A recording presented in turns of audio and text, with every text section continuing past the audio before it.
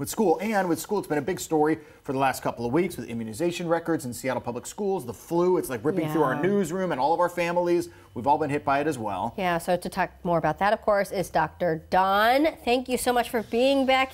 I feel to like see I've you. had the flu. Have I, I had the you flu? sound like a little congested. I'm no doctor, but can we diagnose What you does the flu with- with look like for real? Well, when people have it? influenza-like influenza-like illnesses look sometimes like a regular cold with fevers, sore throats, coughs, but the flu really you feel like you've been hit like uh, with a Mack truck. Is it more like norovirus? Uh, sometimes? no, no, it's not that. You, you just feel like you can't get out of bed. You're extremely fatigued. You may have headaches, body aches.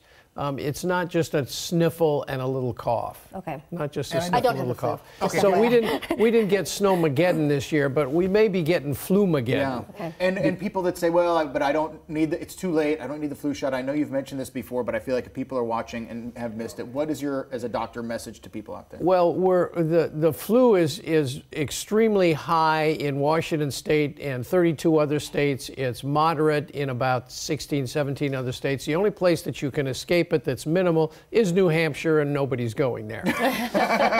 so the answer is that we've already had 10% of the deaths under the age of 18 in the United States right now are in our state. We've had two hmm. kids under the age of four pass away, hmm. one child from 5 to 17 pass away. There's been 30 pediatric deaths, and, th- and they're mostly from influenza B, which affects youngsters 0 to 4 more and over 65. Thank you very much. So the only thing that you can do in terms of protection is to get that flu shot. That's your only protection.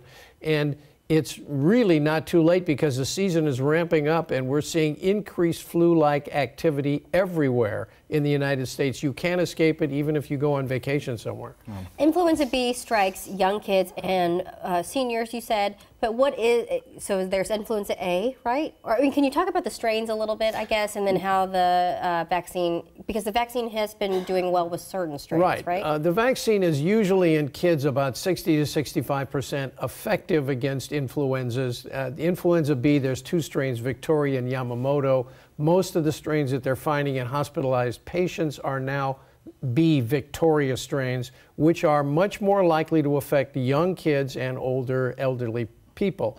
So the answer is that uh, the, the flu vaccine has these strains, and basically that's where you want to get your protection because if you do have the flu vaccine and you get the flu, you are much less likely to be hospitalized and very much less likely to die. It's not perfect, but then airbags and anti-lock brakes Sure. are not perfect in cars either. Right. I guess I never really knew all that stuff about the flu. you Yeah, know? and it's just a, a warning. I know you all can't say enough. All right, so now So we've got it's, about it's not too late because we're only at week 40 and uh, we, we can go all the way through May. And as I said before, a lot of these cases occur after January the 1st. So if you haven't gotten one, remember that it's out there Yeah. and it will affect you if you're nearby. All right, I Okay. mean, it's not too late. Now, let's quickly talk about New Year's resolutions. I know you have New a couple. resolution. Everyone comes to doctors. I want to do Right. this. I want to lose weight. and I want to exercise. And you have a little more easy to bite options Right. for families. What are they? So parents always want to make their youngsters smarter, healthier, safer.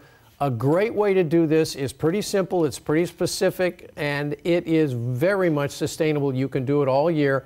Family dinners.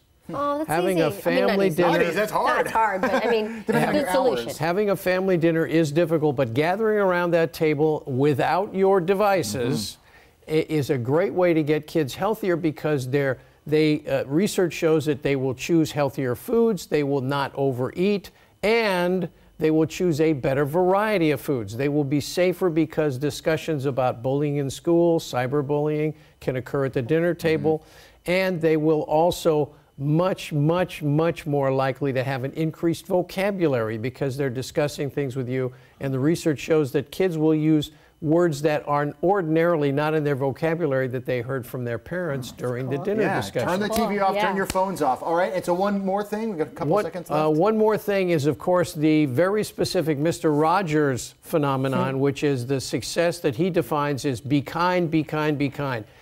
Cultivate a culture of kindness in your house. Use manners, use your pleases and thank yous, and also use that time at the dinners to ask, what did you do today to help someone, rather oh, than how was school? And have them show you how you're helping someone. Hey, Mrs. Jones just had a baby. What can we do to help her? Can we make her a nice dinner for her and your friend Jimmy, who's who's the mm. older child? Great So again, cultivate that culture of kindness. It's very easy. It's very specific, and it has lifelong benefits.